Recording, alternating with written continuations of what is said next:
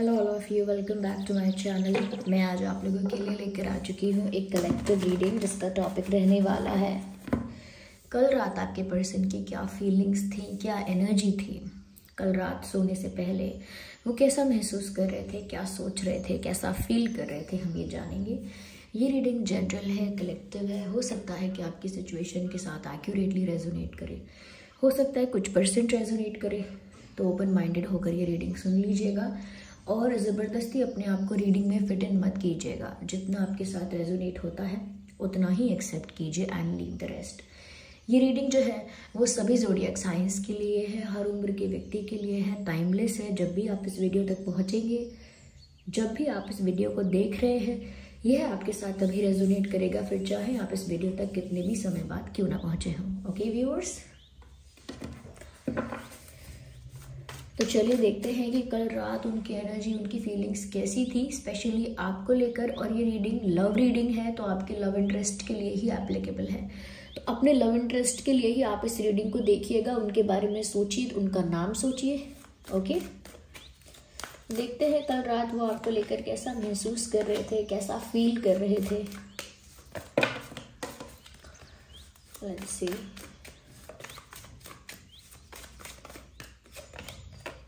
Page of wands knight of wands ये card जो है, वो है four of swords four of swords and let's see eight of swords nice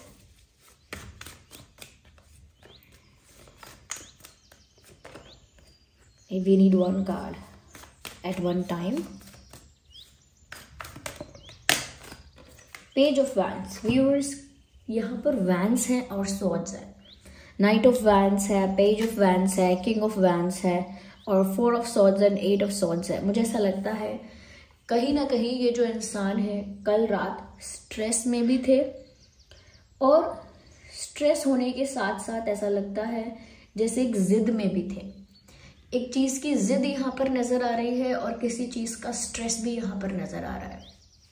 Let me explain it to you सबसे पहली चीज़ viewers यहाँ पर मैं ये कहूँगी कि सबसे पहली बात कल रात वो आपकी तरफ़ आना चाहते थे। अब देखिए जब हम कहते हैं कि आपकी तरफ़ आना चाहते थे इसका मतलब ये भी हो, होता है कि जैसे आपको कॉल करना चाहते थे मैसेज करना चाहते थे आपकी आवाज़ सुनना चाहते थे आपसे मिलना चाहते थे आपको देखना चाहते थे या फिर आ, किसी न किसी वे में आपके साथ जुड़ना या आपके साथ बात करना ओके कनेक्ट करना आपके साथ। उसे कहना, उसे कहते हैं कि वो आपकी तरफ़ आना चाहते थे।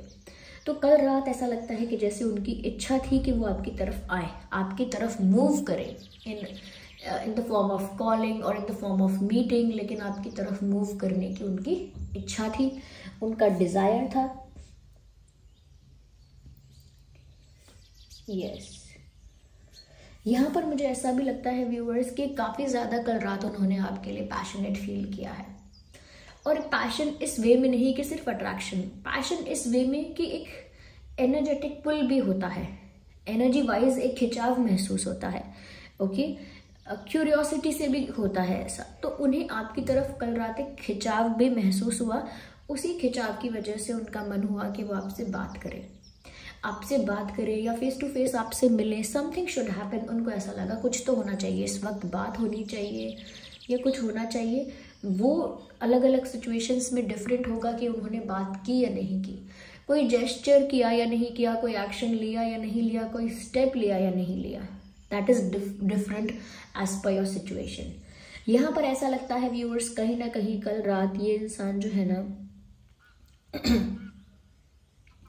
आपकी तरफ़ बढ़ना चाहते थे, लेकिन क्योंकि नाइट ऑफ़ वैंस की एनर्जी है, मैं कहूँगी कि जितना फायर है इस इंसान में, जितना जोश है, जितना पैशन है आपको लेकर, उतना ही ज़्यादा ये इंसान अपने आप को क्लेवर और स्मार्ट समझते हैं।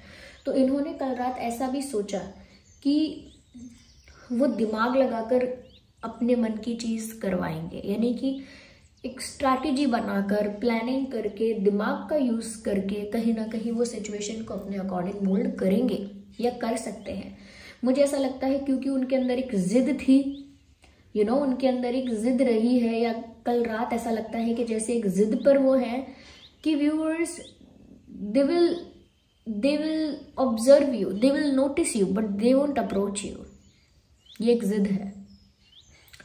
कि जैसे मैं आपको ऑब्ज़र्व भी करूँगा दूर से या आपको दूर से देखूँगी भी स्टॉक भी करूँगा नोटिस भी करूँगा या करूँगी लेकिन अप्रोच मैं आपको नहीं करूँगा नहीं करूँगी चाहे मुझे कितना भी ज़्यादा अट्रैक्शन या पैशन क्यों ना फील हो? I will not approach you at the end of the day you will approach me आखिरकार, अंततः आप ही मुझे अप्रोच करें, ऐसा मैं कुछ स्ट्रैटेजी बनाऊँ, ऐसा मैं कुछ दिमाग लगाऊँ। तो कहीं ना कहीं व्यूअर्स इच्छा उनकी है, लेकिन पूरी आपके द्वारा करवाई जाए, ऐसा वो कुछ चाहते थे, ऐसा कुछ सोच रहे थे। इसी वजह से मैं ये कह रही हूँ कि इस इंसान ने एक जिद पकड़ ली। एक जिद पे आ गए। कि मेरी इच्छा अनुसार ही होना चाहिए। आई थिंक ये जो इंसान है, काफ़ी सुपीरियर सुपीरियोरिटी कॉम्प्लेक्स है इस इंसान को कि मैं सुपीरियर हूँ। जिस सिचुएशन में मैं अट्रैक्टेड हूँ, उस सिचुएशन में भी मैं अपने आप को सुपीरियर रखूँ। सोचो तो उनकी सुपीरियोरिटी कॉम्प्लेक्स यहाँ तक है कि वो अपने मन की इच्छा पूरी करवाएँगे लेकिन दूसरे इंसान से, खुद से अप्रोच करके नहीं। तो ये एक ईगो वाली बात भी है कि इस इंसान के अंदर ईगो काफ़ी ज़्यादा है। ये इंसान कहीं ना कहीं थोड़ा सा सेल्फ ऑब्सेस्ड है या कह सकते हैं सेल्फ इम्पोर्टेंस ज़्यादा है इस इंसान को। खुद के बारे में ये इंसान ज़्यादा सोचते हैं। अब जो यहाँ पर मैंने कहा कि एक स्ट्रेस भी है, जिद पर तो आ गए हैं, लेकिन जिद पर आने से जो मनोस्थिति है वो बदलती नहीं है। जैसे आपको किसी चीज़ की आपने जिद कर ली कि मैं तो कभी करूँगा ही नहीं ऐसा। मैं कभी बात ही नहीं करूँगा, जाऊँगा ही नहीं। सपोज़ आपने किसी भी बात की जिद पकड़ ली, लेकिन उससे आपका मेंटल स्टेट ऑफ़ माइंड जो है, जिस चीज़ के लिए आप इमोशनली कनेक्टेड फील कर रहे हो, जिस चीज़ के लिए आप इमोशनली क्रेव कर रहे हो, तड़प रहे हो, वो वैसी ही रहेगी। वो चेंज नहीं होगा, वो शिफ्ट नहीं होगा। ऐसा लगता है कल रात व्यूवर्स ये बहुत ज़्यादा सोच रहे थे। आपके बारे में सोच रहे थे आपसे रिलेटेड जो हो चुका है उसके बारे में सोच रहे थे। ओवर थिंकिंग चल रही है बहुत ज़्यादा।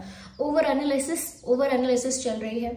ओवर एनालाइज करना ओवर थिंक करना यू you नो know, हर चीज़ को मतलब यू नो दस बार सोचना ऐसा चल रहा था कल रात इनके साथ। ओवर थिंकिंग की वजह से ये इंसान सोए नहीं। दिखने में लगेगा कि ये इंसान सो रहा है लेकिन आग बंद करके कुछ ना कुछ कुछ ना कुछ दिमाग में चल ही रहा है।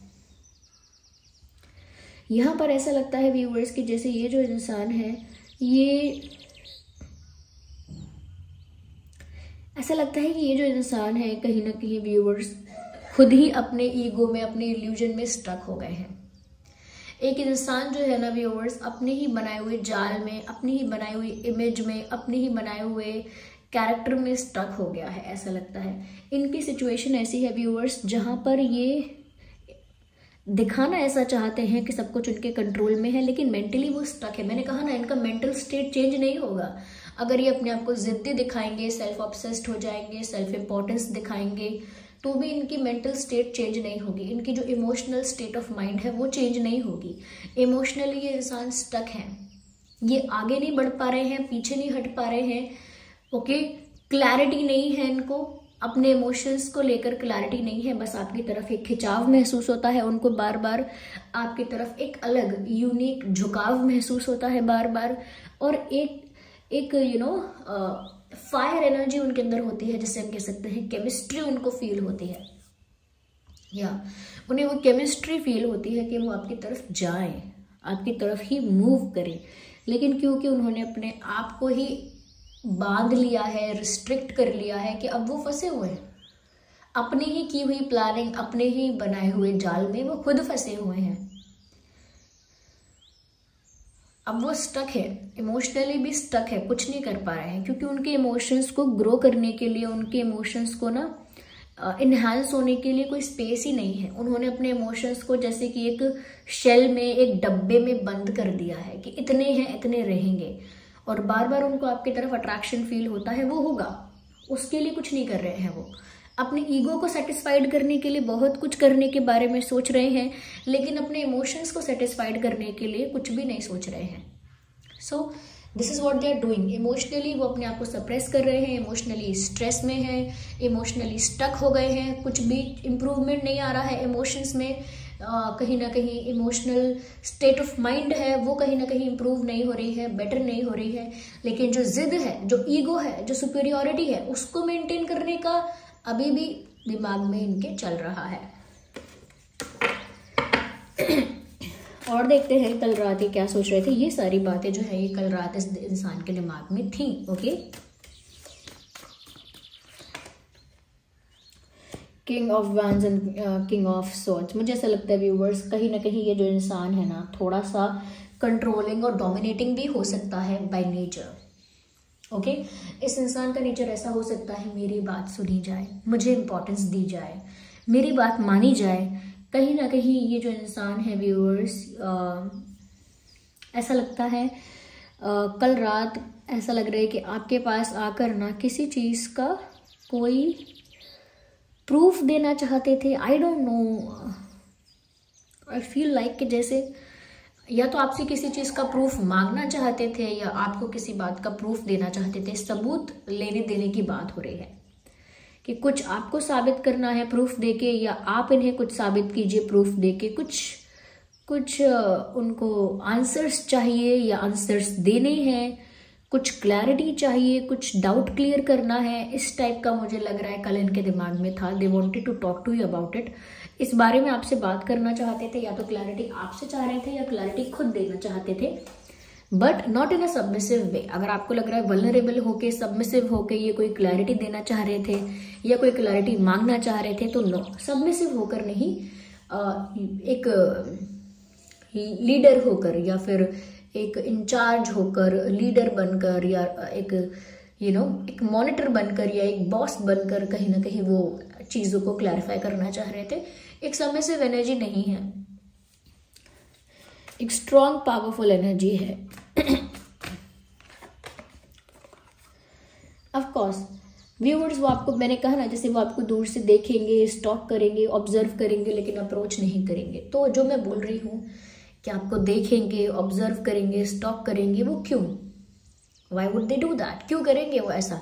बिकॉज़ व्यूअर्स जो आपकी ब्यूटी है, जो आपकी पर्सनैलिटी है, जैसे आप हैं, जो भी आपका स्टाइल है फ़ैशन सेंस है, जैसा भी आपका व्यक्तित्व है overall they they just they just they just fell in love with that उनको ना उससे प्यार हो गया है। उनको ऐसा लगता है you are the perfect wife material और द परफेक्ट हस्बैंड मटेरियल उनको ना आप सर्वगुण संपन्न लगते हो। Ignore the background noise there are street vendors outside तो उनको ना आप सर्वगुण संपन्न लगते हो, उनको लगता है योर परफेक्ट मैरिज मटेरियल आप शादी करने के लिए एकदम परफेक्ट पर्सन हो। कहीं ना कहीं वो जानते हैं कि आपके जैसा बेटर इंसान उनके लिए ढूंढ पाना भी टफ है। और आपके जैसा ब्यूटीफुल एट हार्ट भी और ब्यूटीफुल यू नो फिजिकली भी ब्यूटीफुल और दिल से भी ब्यूटीफुल ढूंढ पाना बहुत मुश्किल है। दैट्स व्हाट कहीं ना कहीं ऐसा वो फील करते हैं आपके लिए, लेकिन वो ये चीज़ को कॉम्प्लीमेंट की तरह कभी नहीं बताएँगे। कभी वो आपको कॉम्प्लीमेंट नहीं देंगे, ये बोल के कि आप दिखते भी बहुत अच्छे हो, दिल के भी बहुत अच्छे हो and you have a very good fashion sense and you very stylish you very this and that नहीं बोलेंगे। नहीं बोलेंगे, लेकिन उनको ना आपके अंदर वो केयरिंग नेचर आपका, वो आपकी काइंडनेस वो आपकी हम्बलनेस वो आपकी पोलाइटनेस स्वीटनेस उनका मन मोह चुकी है। इसी वजह से इस इंसान को बार बार आपकी तरफ़ खिंचाव महसूस होता है। जैसे कुछ लोग होते हैं ना कि झगड़ा करेंगे उसी इंसान से, लेकिन बार बार उसी इंसान के बारे में बात करेंगे। उसी इंसान से बार बार झगड़ा करेंगे, लेकिन उस इंसान के बिना उनका काम नहीं चलता। तो कई लोगों का वे होता है कि वो अपने अग्रेशन से, अपनी जिद से, अपने गुस्से से, अपने ना फीलिंग्स को हाइड कर लेते हैं। जैसा कि मैंने कहा कि इनकी इमोशनल स्टेट ऑफ़ माइंड जो है वो कहीं ना कहीं इम्प्रूव नहीं हो रहा है क्योंकि उन्होंने उसको रिस्ट्रिक्ट कर लिया है स्टक कर लिया है। वो उसे एक्सप्लोर नहीं करने दे रहे हैं ओके अपने इमोशंस को ना बंधन में बाँध के रख रहे हैं और कहीं ना कहीं व्यूअर्स आपकी तरफ़ जो इनका प्यार उमड़ रहा है यू नो आपसे जितना ये इम्प्रेस है या आपसे जितना प्रभावित है, मोहित है, उस चीज़ को भी रिलीज़ नहीं कर रहे हैं। रिलीज़ नहीं I am sorry release is not the right word उस चीज़ को भी ना एक्सप्रेस नहीं कर रहे हैं।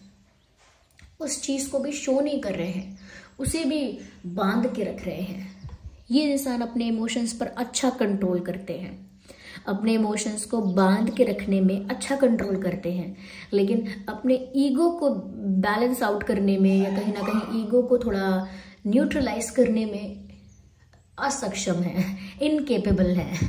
ईगो को नहीं कर पाते हैं कंट्रोल कई बार ऐसा देखा भी जाता है कि प्यार हार जाता है और ईगो जीत जाता है समटाइम्स ऐसे ही लोगों के साथ होता है वो, जो लोग सबमिसिव नहीं हो सकते।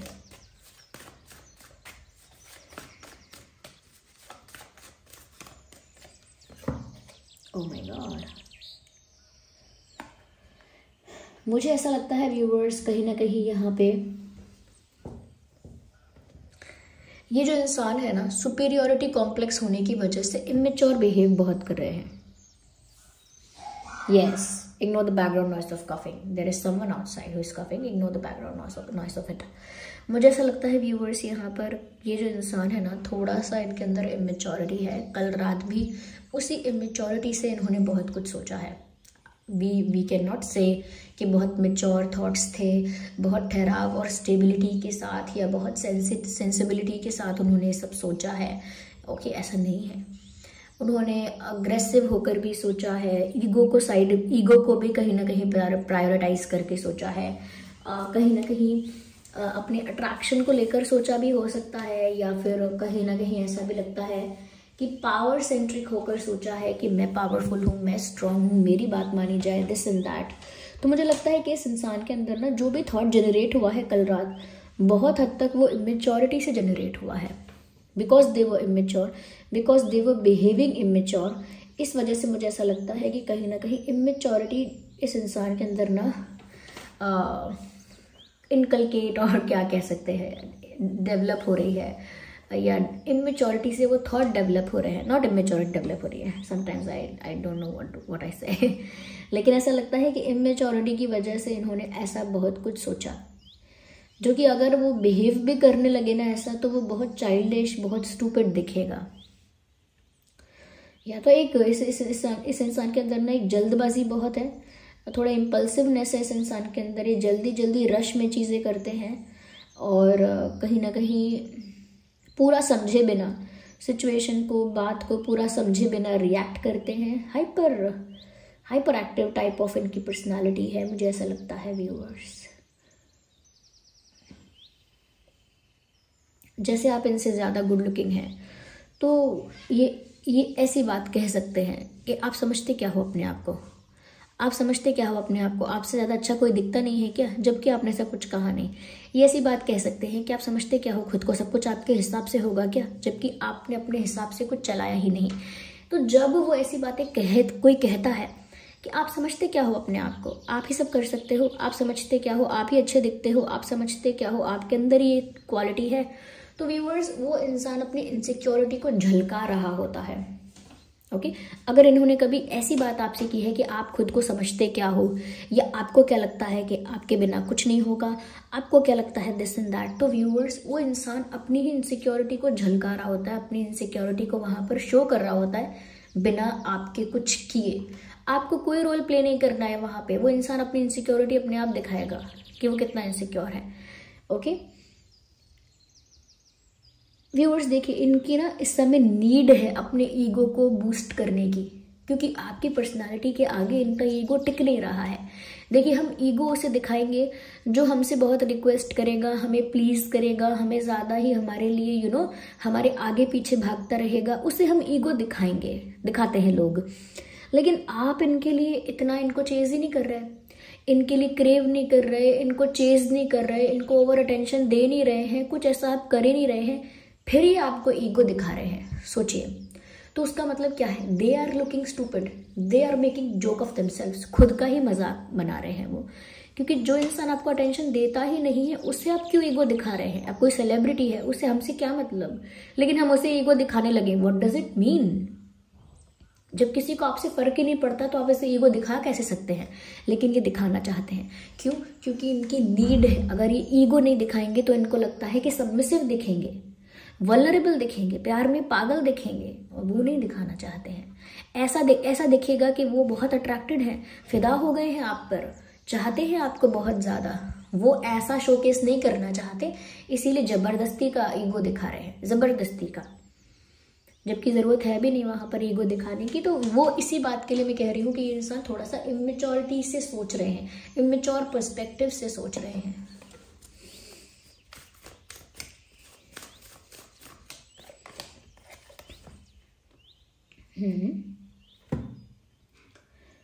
कहीं ना कहीं व्यूअर्स मुझे ऐसा लग रहा है कि ये जो इंसान है ना बहुत ज़्यादा सोच रहे हैं इस बारे में या कल रात इन्होंने बहुत ज़्यादा इस बारे में सोचा है कि उनके साथ आपका एक्सचेंज जो है वो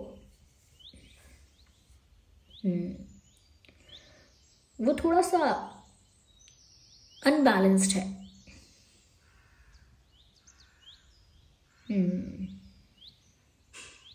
ऐसा लगता है एक तरफ़ से ज़्यादा एफर्ट लिया जाता था, लिया जा चुका है बट नॉट करेंटली एक तरफ़ से ज़्यादा एफर्ट लिया गया है, ऐसा यहाँ पर नज़र आ रहा है। Okay viewers let me shuffle more